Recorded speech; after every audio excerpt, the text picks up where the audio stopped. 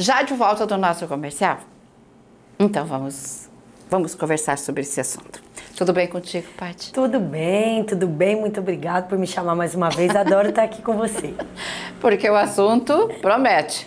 Ah, sempre, né? Todo mundo gosta de ouvir. Ainda mais se fala de conflito, aí o povo fica bem atento. Né? conflito com o povo mesmo.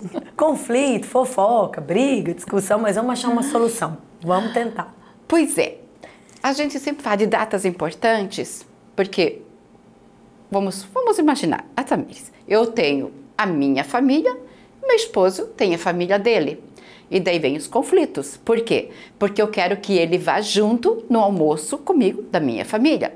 Mas ele quer a mesma coisa. E como que fica tudo isso? Então hoje nós vamos falar, nosso tema é fim de ano, influência no emocional. E é contigo, minha amiga. É muito importante quando você diz fim de ano, eu escuto muito nessa nesse momento lá no consultório assim, ai, parece que agora tudo vem à tona, vem tudo à tona e vem, mesmo. que vem tudo junto. Vem, então ainda mais vamos lembrar que é um ano posterior à pandemia, né, Tamires? Então nós voltamos ao normal e daí estava difícil acostumar com o novo normal, agora está difícil acostumar com, com o normal de antes. Tem algumas pressões emocionais que estamos vivendo sim. E final de ano, todo final, todo, todo fim é fim de ciclo. Então nós estamos findando o ciclo do ano 2022. Sabe aquela história da listinha que a gente faz no começo do ano? Ah, eu vou emagrecer, ah, eu vou casar, ah, eu vou fazer uma viagem, vou reformar a casa. Então nós colocamos expectativas sobre nós mesmos. O mundo coloca expectativas sobre nós, a família coloca expectativas sobre nós, e mesmo que a gente não queira, quando chega o final do ano, e aí? Tem que fazer um, uma. Que saldo que tá? Tá positivo? Tá negativo? Então é natural. Você que percebe essa, essa alteração emocional, a gente já começa a ficar irritado, nervoso, né? Então é natural e é consequência disso, porque nós estamos fechando um ciclo. E aí, se o ciclo Hum, passou o ano, não vi. não fiz. não fiz. passou o ano e não fiz. Então, daí vem uma autocobrança também, né? Por isso as alterações emocionais. Agora, no fim do ano, fica um pouco mais gritante. Pois é, né? E agora, e o que fazer nessa situação, né? De, por motivo de família, claro. Sim. Chega final de ano, você pega lá seu caderno, sua caderneta e coloca lá ah. os desejos para 2023, Três. né? Uhum. Vou emagrecer, é, eu gostaria que isso tivesse mudança, né? Vou orar para isso e vai, você vai colocando tudo, né? Você vai numerando tudo, tudo aquilo que você tanto deseja, teus projetos sim, e assim por sim. diante. E só que você coloca tudo lá, mas só que tem muitos conflitos é, com os momentos especiais. Sim. E como resolver isso, Paty? Eu, eu, você sabe Tem que, que entrar num consenso? Tem. Equilíbrio é tudo. Equilíbrio é tudo. E daí, mais uma coisa bem legal para a gente falar agora, antecipadamente. Não dá para ir conversar sobre como encontrar esse equilíbrio na véspera do Natal né? Olha, a parte boa é que nós temos Natal e Ano Novo tão perto um do outro. Bem pertinho, uma semana. Tão perto um do outro. Então, é claro que, falando para quem é casado, para quem é namorado, e daí quem é namorado, você sabe também, isso que acaba sendo pior, porque em um, em um ponto é pior.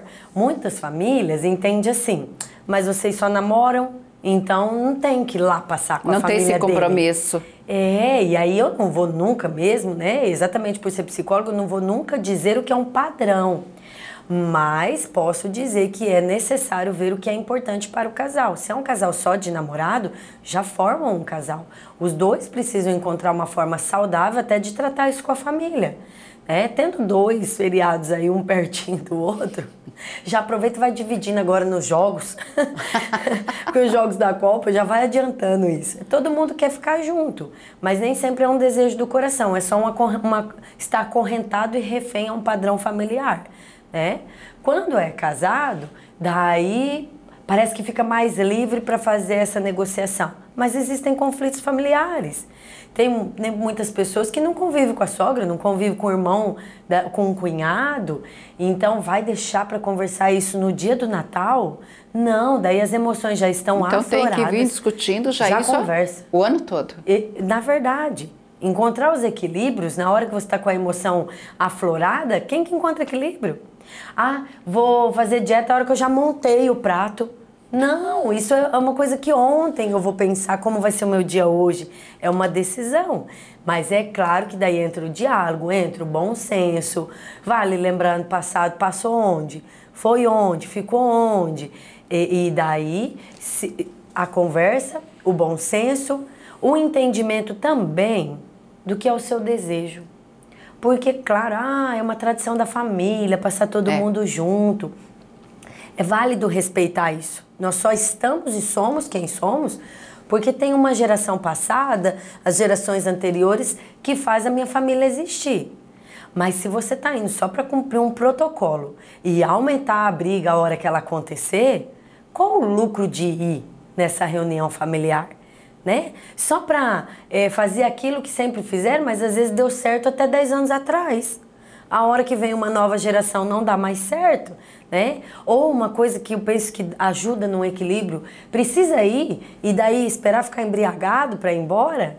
Vai ter briga, vai ter discussão. Não, acha que é fundamental ir, né? Tem uns que já reza embriagado, tudo junto. tá bom, cada um tem a sua forma de viver, né? Mas daí, acho bom senso, é hora de ir embora, vai embora cumprir o teu papel, se não for, vai ficar mais com consciência pesada do que com consciência tranquila, conversa consigo mesmo, né? Será que vale a pena eu ir? Será que não vale? Ah, mas eu não vou que eu não, não vou com a cara do irmão da minha esposa. Então, quando casou, veio o kit. Vem, vem completo. Não tem como, né? É tão é difícil suportar determinadas pessoas. Sabe uma coisa que eu falo sobre isso? É tão difícil me suportar. Eu também sou insuportável aos olhos de algumas pessoas. E tem gente que fica fazendo, né? A boa vizinhança. Então, se isso avalie, vai ter mais ganho ou mais perca em você ir? Vai ter mais ganho ou perca em não ir? É sempre válido fazer esse balanço, né? Ah, eu vou ficar beleza, porque eu não vou ter que encarar aquele lá. E a sua esposa? Ah, eu vou ficar tranquila porque eu não suporto minha sogra. E o seu esposo? Qual o fim daqui 10 anos vivendo esse, essa competição, esse embate, esse ringue? Vai sobrar casamento? Né? Tem tudo isso. Então a gente tem que pensar muito além. A gente suporta tanta coisa, a gente tra suporta trabalhar com esse calor. Né? É muito mais gostoso no ar-condicionado. Mas porque há uma intenção eu trabalho os dias do mês porque há uma intenção com isso. Aí a dificuldade fica suportável. Então, precisamos falar sobre isso, mas é claro, fingir que tá tudo bem? Não, encare a realidade. É difícil estar com a família, mas ainda tenho mais ganhos de enfrentar isso. Não, não quero ir. Então, tenha a maturidade de chegar para eles e falar, né? Para quem convém, para quem precisa anunciar. Não, ó, nós vamos passar um Natal diferente mas precisa estar em comum acordo. Não brigar com todo mundo, né? Sempre. Ah, mas daí eu não vou. Tem gente que fala assim, mas como que eu não vou passar o Natal com a minha mãe? Todo ano é o Natal lá. Então, acha um jeito de conversar isso com a mãe. Mas é, isso é maturidade, né? Isso é maturidade. Sim, porque é, pode os dois passar o Natal com a mãe, né? Com a mãe dele, uhum. e depois os dois passar a virada de ano com a mãe dela com a também, né? dela, né? Exatamente. Então, eu, é como nós falamos, o consenso sempre, o né? Consenso. E a gente está falando de família, mas sobretudo, né? Às vezes no começo do ano combinou com uma roda de amigo. Ah, não, nosso Natal vai ser não sei aonde. Uhum. Passaram-se 12 meses do ano, nem são mais amigos, nem estão mais próximos. Maturidade, de novo, é a palavra. Vamos conversar, precisa ficar bom para todo mundo. Qual o ganho de ir lá porque combinamos? penso eu que nada paga a saúde mental e emocional.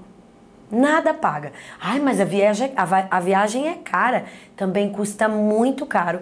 Passar um fim de semana junto com pessoas que você não está, não está agradando e nem agradando o próximo custa muito mais caro do que você renegociar isso economicamente emocionalmente e fazer algo que de fato vai agregar. É? Às vezes, por amor, eu quero é, manter o compromisso. Tudo é amor. Mas se é um amor que vai destruir, ai, vamos procurar outro caminho. Mas precisa Sim. a coragem, né? Quando eu digo maturidade, atrás da palavra maturidade, no meu ponto de vista, tá fidelidade com seus princípios, uhum. né? Dá uma coragem também. Ai, que tem que passar uma massa corrida na cara e falar uma coisa que como não é. Que, como é que eles fazem? Passar óleo de peroba? Passar óleo de peroba na cara e falar uma coisa que não é agradável, né? Falar para minha mãe, ai mãe, esse ano eu vou só passar lá almoçar com vocês, mas eu vou ficar com outro pessoal. Vai gerar conflito? Aham, eu acredito. Até pelo novo, porque o novo impacta, né? Uhum. Mas o quanto que isso pode trazer de paz na alma, de ressignificação. Chega uma hora que a gente não, não, não faz mais parte, né? Do, não precisa repetir, só porque há 20 anos atrás faziam assim. Vai ficando uma distância. Podemos fazer, Vai inclusive. E já pensou que pode ficar ainda melhor? Que aqueles te viram, ficaram sem você e passaram o Natal, e você também, e passaram o Ano Novo. O que que dá certo e que vai fazer melhor para você, né? Verdade. Agora, também tem aqueles casos lá, eu não gosto de ir na casa da sua mãe, você quer que eu vou? Daí ele já começa a tomar cedo, né? Ai. Daí ele já começa a tomar cedo, ele Veja... já vai chegar lá no almoço ou no jantar já isso, é, Troca, bem trocando, tro, trocando as pernas. É, e daí, por isso volto a falar a palavra maturidade. Nem tinha pensado ser isso nosso ponto principal. Mas vamos observar que comportamento que é esse? Uma pessoa de quantos anos de idade, ou vamos falar do que emburra, né? Quem que emburra, quem que é, amarra o burro lá no canto? Uhum. Quem que é? Que idade? Criança. Criança. Então, serve normalmente para as mulheres, né? Ai, fica lá pirracenta lá no canto, emburrada, voltou para sua criança. Isso não é maturidade. E daí a gente fala assim, quanta é, infantilidade. Quanta infantilidade. Porque diante de um impacto, ou agride ou infantiliza. E aí volto a te dizer, o que está nutrindo no teu casamento? Amor é doação, relação é doação. Aí você não, não, não consegue ter um, um bom comportamento, porque também é pirraça, né? Então eu já vou beber e já. É no mínimo um comportamento inconsequente. Não pensou na consequência. Ai meu Deus, ela tá falando que eu sou inconsequente? Se incomodou, então pensa. Essa carapuça todos serviu. somos, todos somos em algum momento. Sim, sim. E aí não é lá, aí, a, aí a, a coitada da mulher fica apavorada, né? Se falar, vai piorar. Isso. Vai que ele resolve ir embora. Vai que ele faz um escândalo. Vai que ele faz um escândalo. Uhum. Vai que ele resolve ir embora. E vamos aqui defender um pouco os homens também. Tem mulher que tem uns comportamentos que, pelo amor de Deus... Misericórdia, bem barraqueira. Levanta e vai lavar uma louça. Ninguém é Isso. é obrigado a fazer tudo para você. É uma confraternização familiar. Não quer fazer, part... é o partilhar. Tô dando o um exemplo da louça, mas somos adultos, né?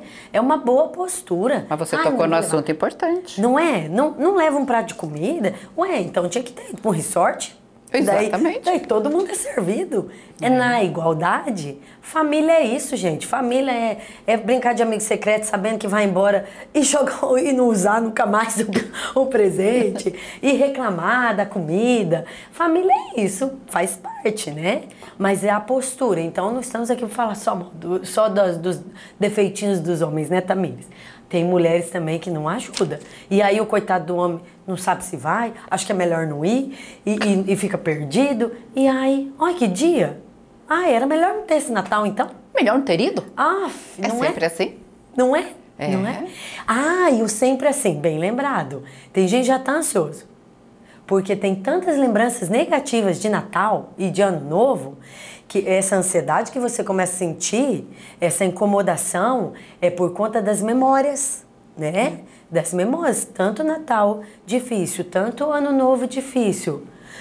Não consegue nem se organizar, não acha graça de arrumar a casa. Uhum. Deus me livre receber alguém. Memórias negativas. Aí eu vou mais um ano para gravar mais uma memória negativa? Ressignifica. O ganho é maior. E é verdade. Eu vou para o comercial e eu volto já já com a parte, porque o assunto está quente, hein? Está bom e promete. Fica aí então, que eu já volto com ela. Já de volta do nosso comercial, vamos continuar então conversar com a Patrícia Fabi. Ela é psicóloga e o consultório dela sempre assim de gente. Ela é muito procurada. Eu gosto muito do jeito dela falar, dela se expressar e ajudar a resolver as coisas também, né? Ou mesmo dar um conselho, né? Muita gente fala assim, ah, se conselho fosse bom, era vendido, não sei o quê. É. Não, gente, não é bem assim não, viu? Às vezes tem conselhos que tem, mas encaixa direitinho na sua vida. Nós estávamos falando antes das mulheres, né? A gente fala dos homens, mas as mulheres também.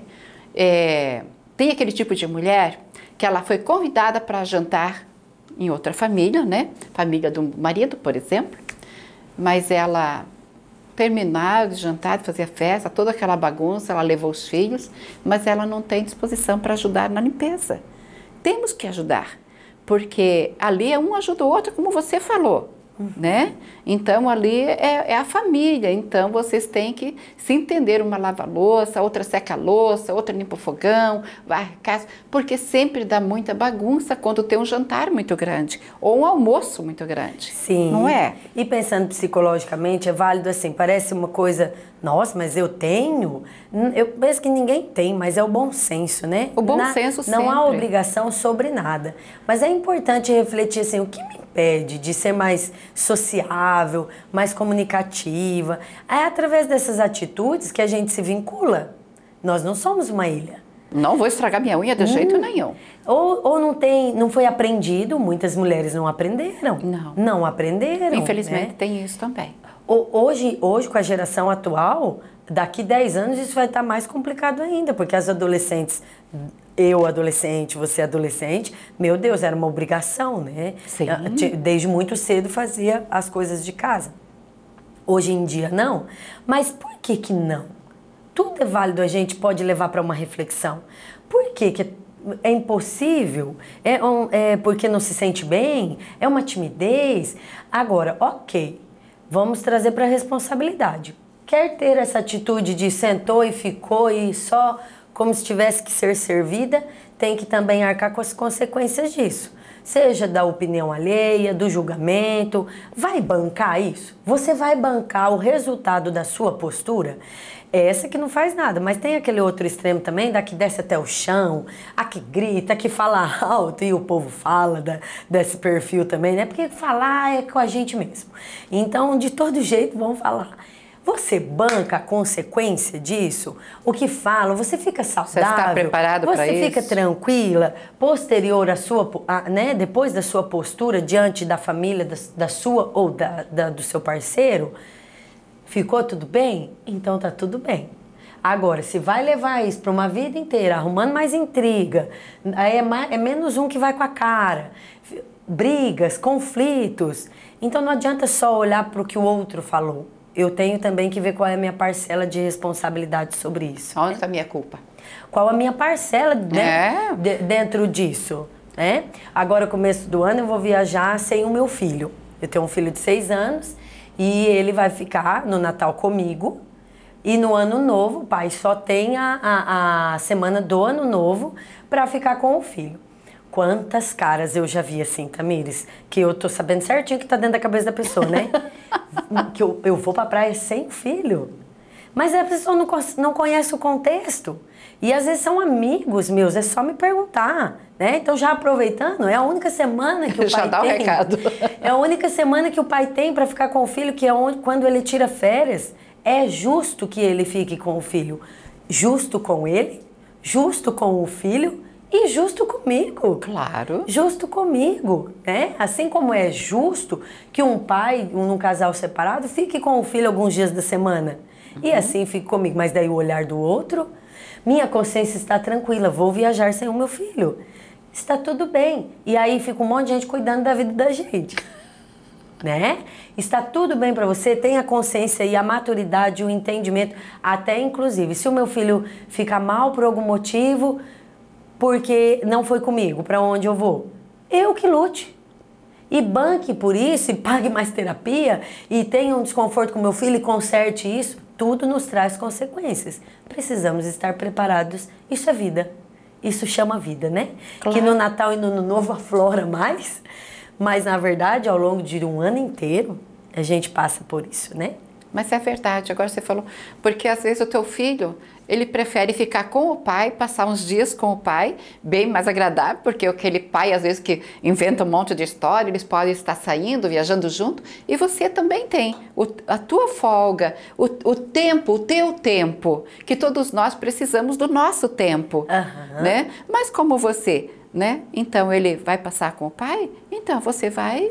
É, vai e daí eu fico pensando assim, a gente fala que é empático. Mas é né? corajosa deixar essa criança de ah, seis anos. E é empático, uhum. aí o pai vai estar tá lá com o filho em algum lugar, aí eu não viajo, fico em casa sozinha. Sim, fica, Olha, fica né? esperando. Que empatia que a gente tem, né? É só se colocar no lugar do outro. Claro. E essa empatia também é válida a hora que a gente vê aquela emborradinha lá no canto, é, é importante cada um pensar sobre a sua postura. Pensar sobre a postura do outro, a gente nunca vai acertar. Porque daí a gente cai no julgamento. Eu não sei por que, que ela está lá sentada. Eu não sei porque que essa pessoa não lava um prato, não põe lá no, na pia o prato dela. Eu não sei porque que esse, esse cara não ajuda lá na churrasqueira. Mas eu sei, eu sei como psicóloga que cada um tem uma história de vida. E cada um tem os seus motivos. Tem coisa que não é legal mesmo e ainda assim a gente tem que suportar. Julgamento é natural em nós, mas a gente pode silenciar. Né? A hora que vem aquele pensamento, nossa, que doida vai viajar sem o filho. O que, que adiantou e o que, que acrescentou você pensar sobre isso? Né? Verdade. Verdade. Agora, já que nós tocamos nessa parte também, e o casal que é divorciado que tem os filhos, como que fica uma situação? É, é assim, é, cada situação uma delicadeza, né? E de novo cabe a, se posso chamar de orientação, né? Lembrando que cada filho tem uma idade e cada idade cada, é, tem uma autonomia.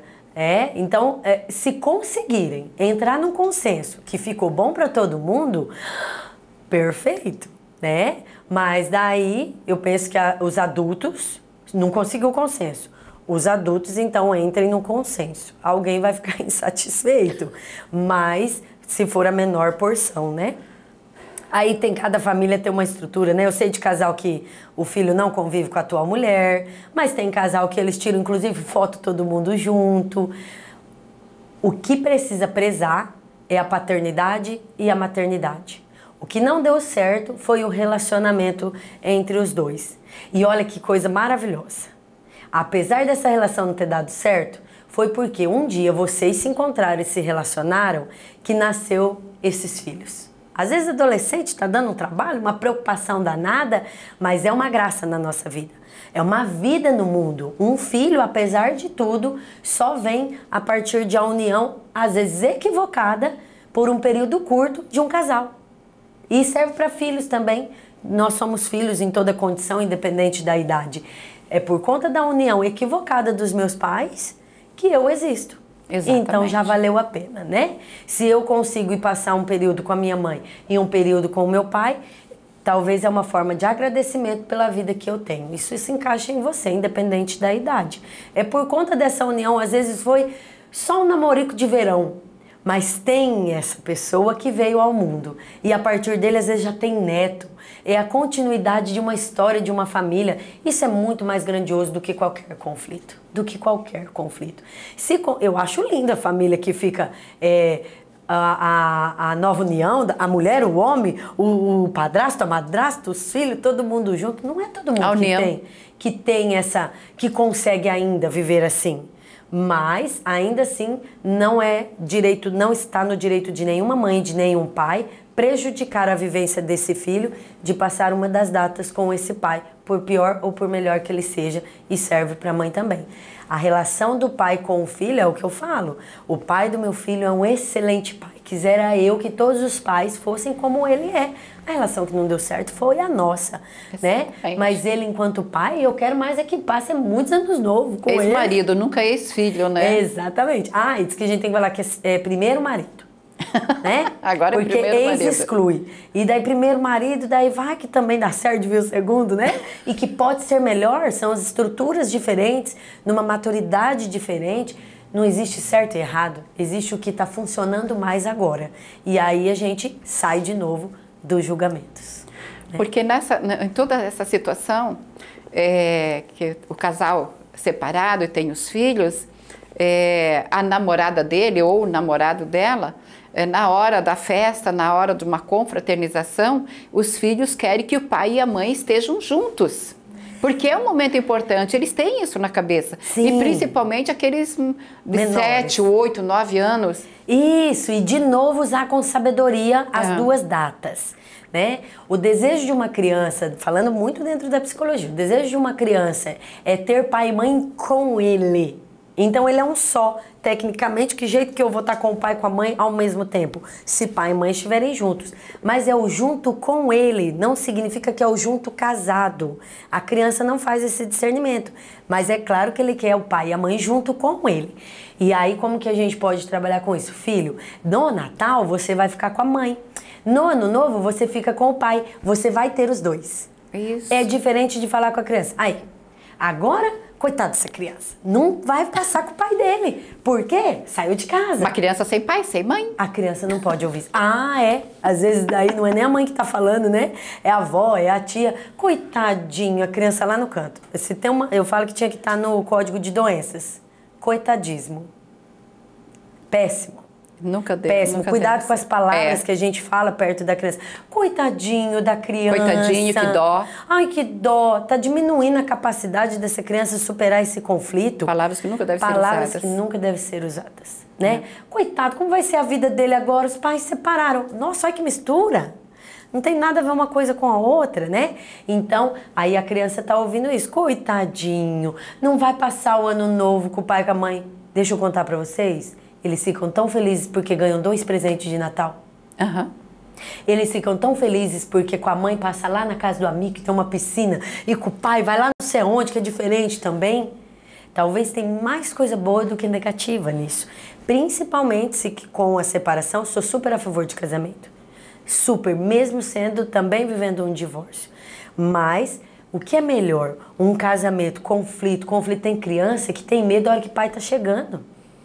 Tem criança que chora a hora que vê que pai e mãe entrou dentro do quarto, porque sabe que vai sair pancadaria. Meu Deus. Que clima é esse? Sério que isso é melhor do que uma separação estruturada, bem vivida? Uhum. Sério que isso é vida? A partir de 5 anos de idade, a gente pode conversar igual estamos conversando aqui. A inteligência deles está estabelecida.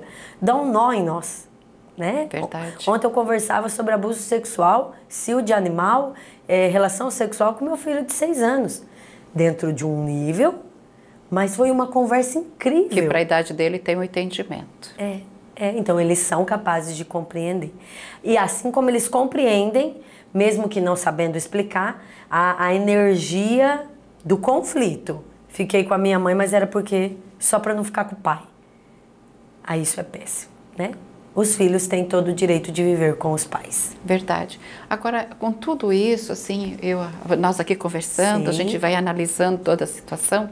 É minha última pergunta, tá? Para a gente encerrar. É, tem aquele pai que é muito violento, sempre foi violento enquanto estava casado.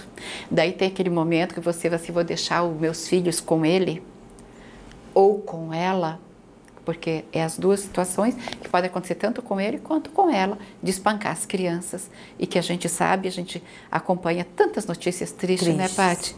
Que jogou pela janela a criança, que bateu, espancou tanto, que chegou a óbito, coisa assim. Então tem tudo isso para se analisar também, né? Tem, e daí a gente tem a lei que protege, é. né? Então tem o, o tratamento psicológico, acompanhamento psicológico para averiguar isso, para ver se o, às vezes o pai não faz isso com a criança, mas se há uma, uma percepção, é, não, só, não só sobre o espancamento, mas propriamente o abuso sexual, meu Deus, na dúvida, precisa averiguar. E daí tem a lei que protege, tem o conselho tutelar que protege, é. né? Tem que proteger, não é? Ah, só porque é pai vamos deixar. Não, não, tem que ter uma consciência, uma responsabilidade sobre isso, né? Se existe uma situação delicada dentro dessa casa, daí é buscar as forças e os amparos que tiver para não colocar essa criança, esse adolescente em, em risco. risco. Em Verdade. risco. E aí quais são? O acompanhamento psicológico, inclusive as prefeituras oferecem isso, o, uma orientação com um advogado, uma orientação não precisa contar para ninguém, vai se respaldar. Exatamente, Senta é. e conversa com uma pessoa do conselho tutelar, É, vão, porque a gente não sabe tudo, mas nós temos aonde recorrer para uma pessoa nos explicar. Ah, mas como que eu vou deixar? Tem as, as, as defesas. Se é constatado que esse homem, depois que bebe, vai espancar ou vai abandonar, a pessoa esqueceu, esqueceu no evento. Isso acontece, esqueceu no boteco. E, e, como que você vai deixar o seu filho com uma pessoa assim? Mas daí não é ego, aí é um fato. Não é por uma necessidade sim, de ego, é um sim. fato. E aí é o seu dever, mãe ou pai, né, que algumas situações é mais difícil, mas a mãe também, às vezes usa usuário de droga, é. alguma situação que deixa numa vulnerabilidade. Essa criança é responsabilidade dos adultos ao seu redor. Eu vou te deixar à vontade para deixar aquele recadinho do nosso bate-papo para finalizar.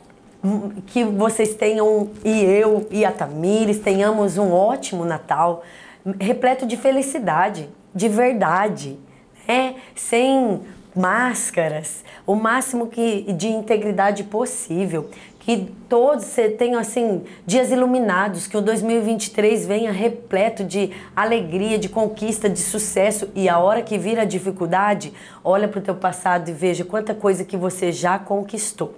Né? Agora a gente olha para a lista e parece que não fez nada do que se comprometeu no começo do ano. Eu tenho certeza que você fez. Eu gosto muito de usar aquela referência da música. Então é Natal e o que você fez? Coloque assim, o que você fez? Com certeza fez. Superou tristeza, venceu barreiras, educou, trabalhou, emagreceu, engordou, curou a doença. Você fez. Né? Quando a gente às vezes não quer que o outro julgue, a gente mesmo se julga, ah, quase que não fiz nada, não alcancei. Olha para o teu passado, você só está aqui porque fez muito. Só chegou em mais um Natal porque fizemos muito. Então a gente pega essa força e aguenta mais um ano, mais 10 anos, mais 30 anos, se possível, né? Ótimo estar aqui. Ano que vem, se eu se tiver como, tô aqui de novo, né? Às vezes vem novidades por aí na vida da gente, mas um grande abraço para todo mundo e um ótimo final de ano. Que Jesus te abençoe grandemente. Obrigada por ter vindo e trazer esse assunto tão importante para o programa da Tamires. E, e Feliz Natal e um 2023 repleto de coisas boas. Para você também. Muito sucesso. E Amém. muito obrigado sempre por contar Para nós. Felicidades. Com certeza. Gente, eu vou ficando por aqui. Deixo meu beijo, meu abraço. Obrigada pelo carinho e pela atenção de vocês. Eu volto numa próxima oportunidade com mais uma edição do programa da Tamires e com assuntos importantes. Não esqueçam de entrar lá no nosso canal no YouTube. Essa matéria é tão bacana, tão importante, está lá no YouTube. Então, compartilhe com os amigos, né, com a família. Isso é muito bom mesmo. Então entre lá, dê um joinha, inscrevam-se também. Para nós é muito importante, ok? Beijos, abraços, que Deus te abençoe grandemente.